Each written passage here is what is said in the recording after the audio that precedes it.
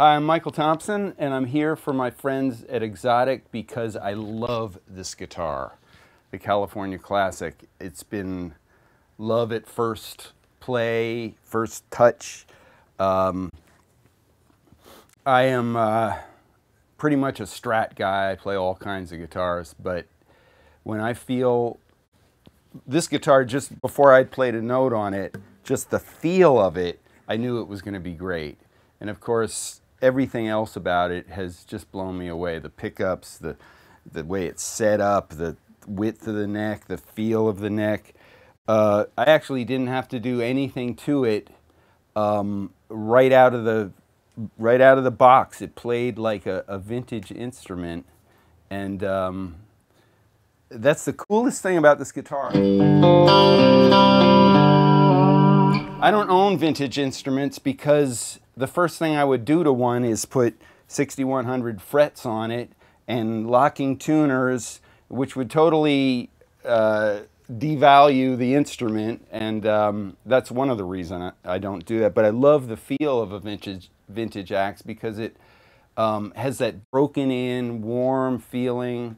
Um, and also, one of the things that's really hard to do is have a new guitar with pickups that sound like they're they've got just the right amount of aging, which these seem to have just the whole thing here. Plus it's it's got the little beat up thing, but it's not too overdone that just psychologically makes it feel like an old instrument. But the way these necks are uh, the uh, what's called burnt uh, Roasted maple. Roasted maple is is so cool. Um, I guess they take a maple neck and roast it, but it feels just played in and broken in, and just that that warm thing that makes you just die when you play a, a vintage instrument.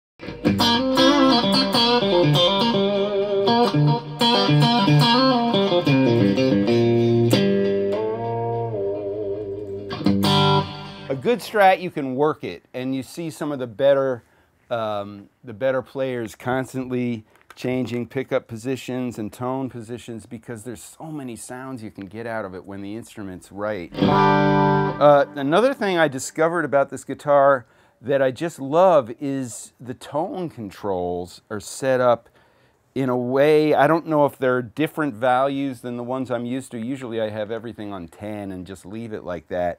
But I, I discovered that like by rolling this down,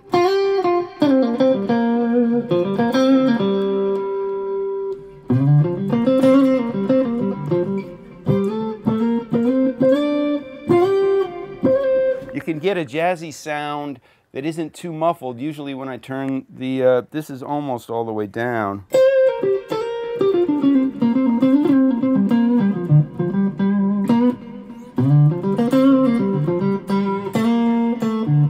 It's funny how you can make a Strat sound more like a jazz box than a jazz box if you have the right kind of sort of tone roll off, and that's all it is. Uh, you know, it's just.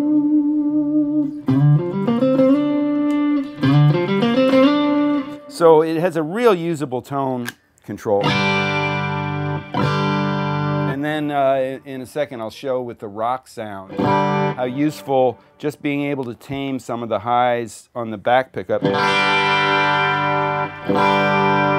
See, already there on five, it's, it's got a nice round sound that doesn't tear your head off.